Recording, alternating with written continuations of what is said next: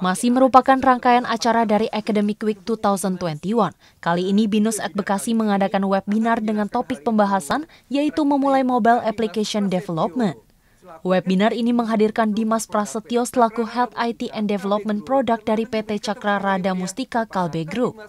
Sesuai dengan topik webinar kali ini, Dimas membahas mengenai mobile application development.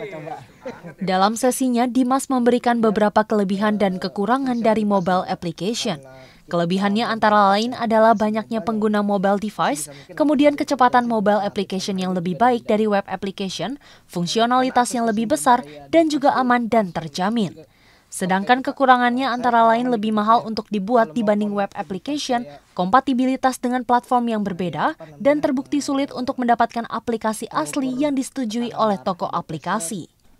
Dimas juga mengajak para peserta untuk mengunduh aplikasi Mobile Development Tools agar para peserta dapat langsung melihat dan mencoba bagaimana penggunaan dari Mobile Development Tools tersebut. Dimas memberikan beberapa arahan kepada para peserta mengenai penggunaan dari Mobile Development Tools itu sendiri.